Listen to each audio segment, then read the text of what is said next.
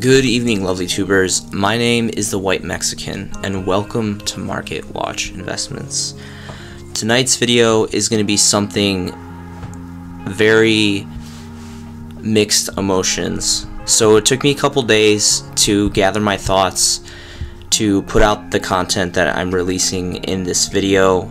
I know there's been many videos that have gone out on the platform regarding the game creators passing and some of them have been fantastic and I'm really thankful for all of the content creators out there that have put such meaningful thoughts into the work of their dedication videos for him.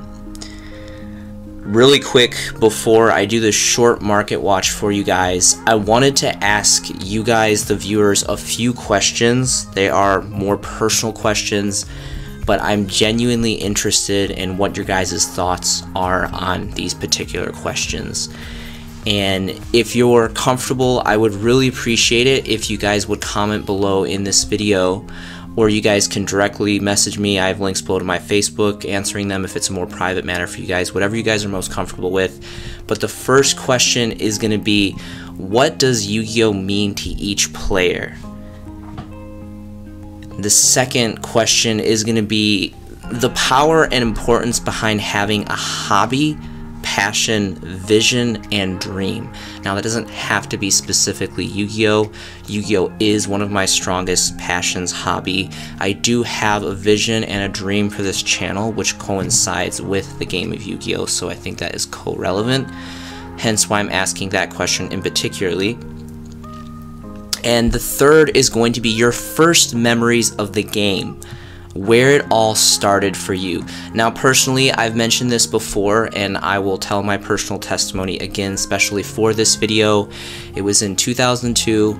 I was living in Michigan at the time, and it was my friend Josh McCall, who was uh, a kid in my apartment complex in Farmington Hills, Michigan, that I'd met that same year that got me into the game. I was for some reason with his older brother, and I just remember driving in his blue Mustang to the store to get my first product, which happened to be Starter Deck Pegasus, and that was my first cards ever, and it was game over after that.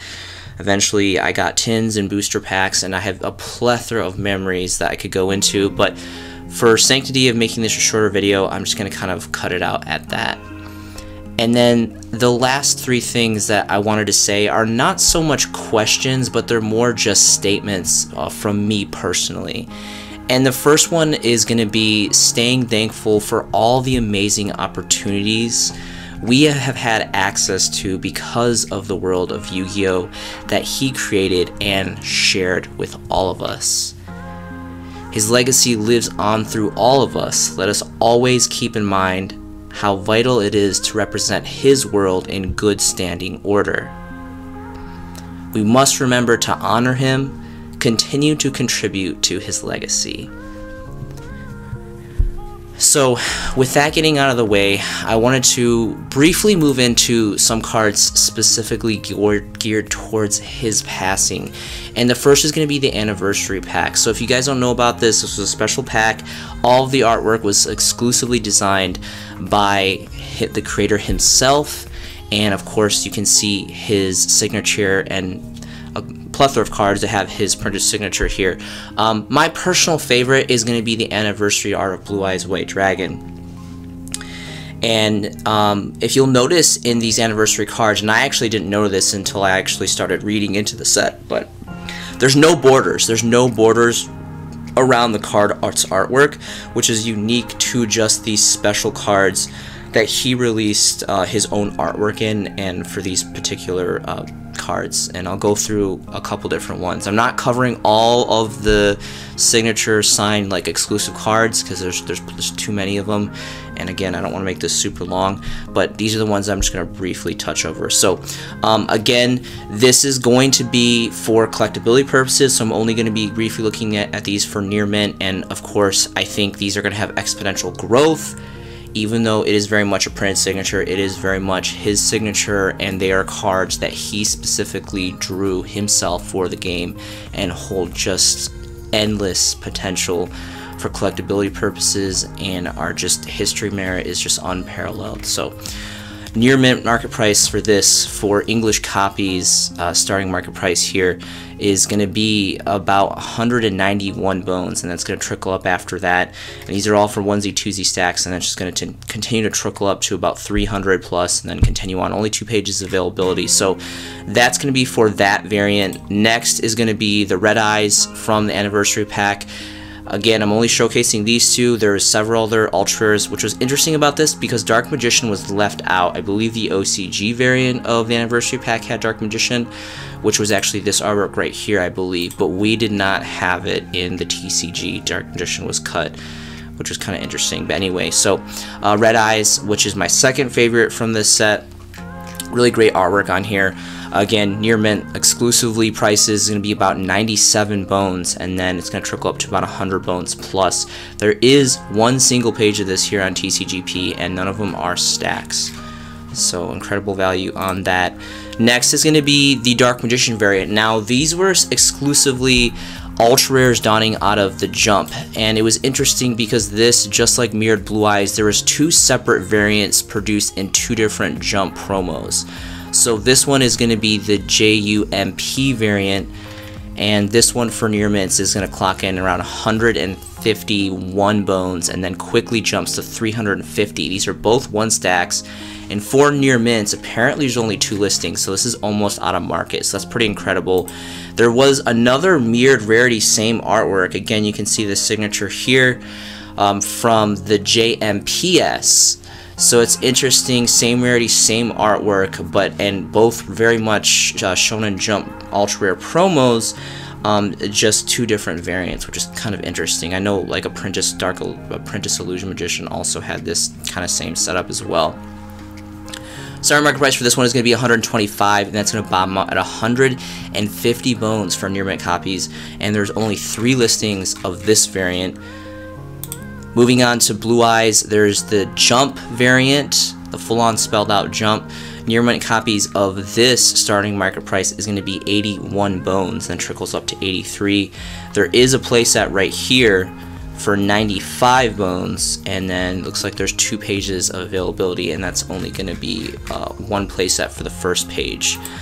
Of course, there was another variant for the JMPS Ultra Rare promos, and these are going for um, apparently 175 for one copy of Near Mint, and this is the only listing. So it looks like probably the JMPS variants seem to be a little bit lower on the market, at least here for Blue Eyes.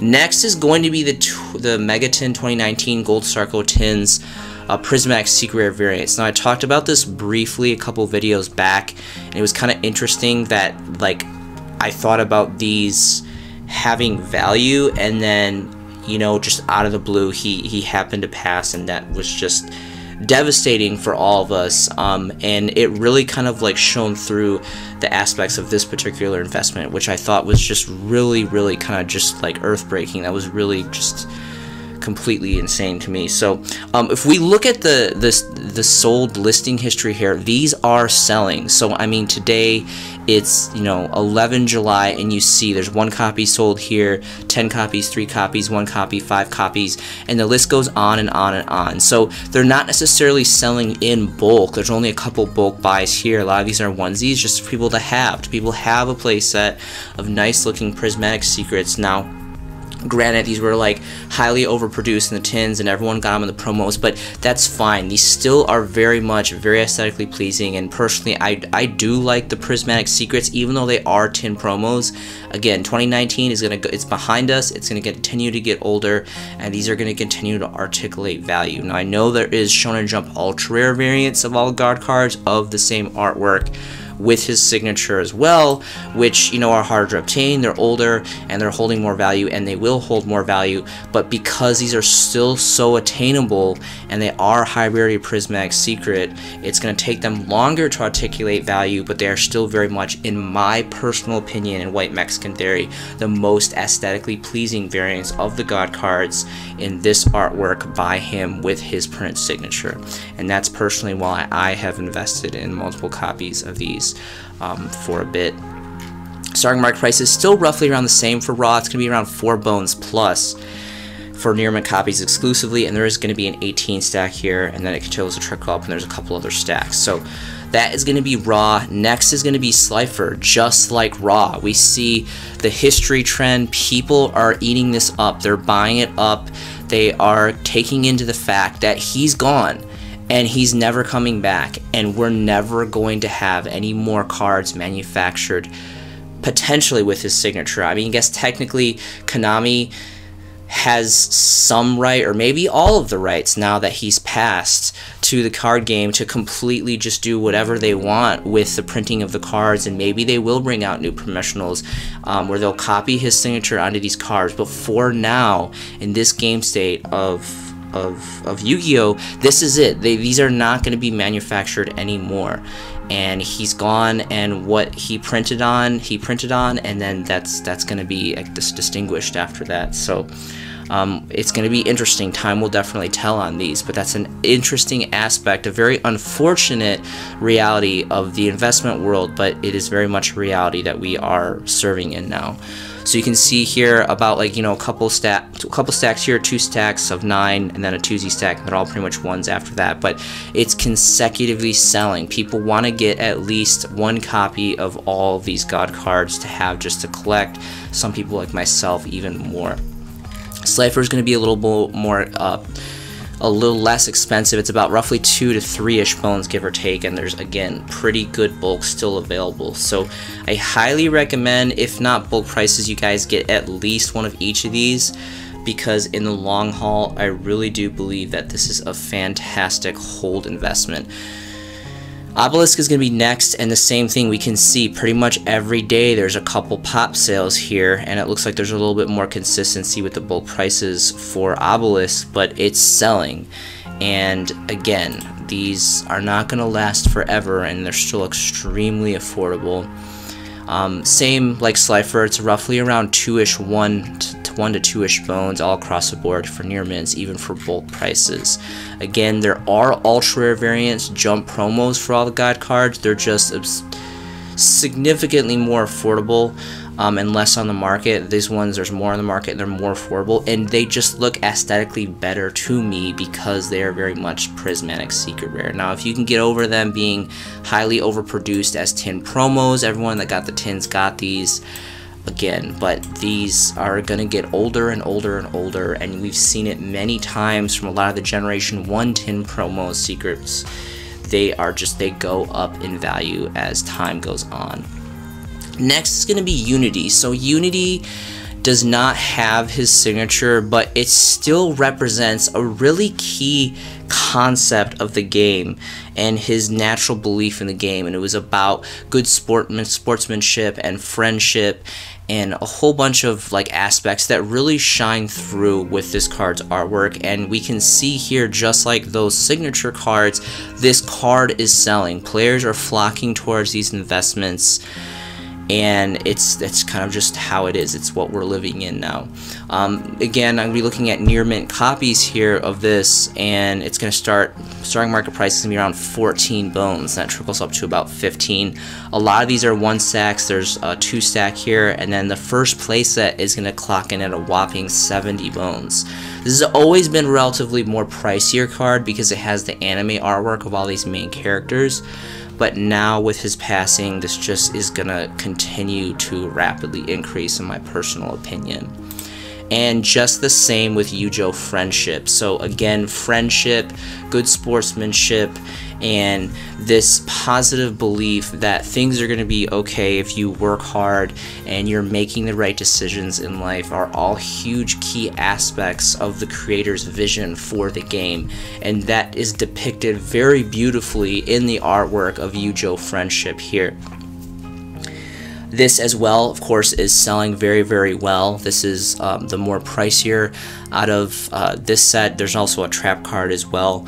Um, and this is going for really good money and it's selling uh, consecutively. So starting market price for lightly playeds here is going to be about 56 uh, around yeah around 56 and it's going to trickle up and then it's continue to trickle up. Now this is the whole thing. Like this is for near mint lightly played. I think i took off my filters. This is for everything. There's a two stack here. Everything else is a onesie stack and then it bottoms out at 500 i think this is for a sealed for all three of them so just food for thought again i am full with just complete humility and sorrow and just so many emotions. And again, I apologize. It took me several days to push out some new content, mostly because I really wanted to figure out how I wanted to communicate my personal dedications to him and just how much this game means to me personally.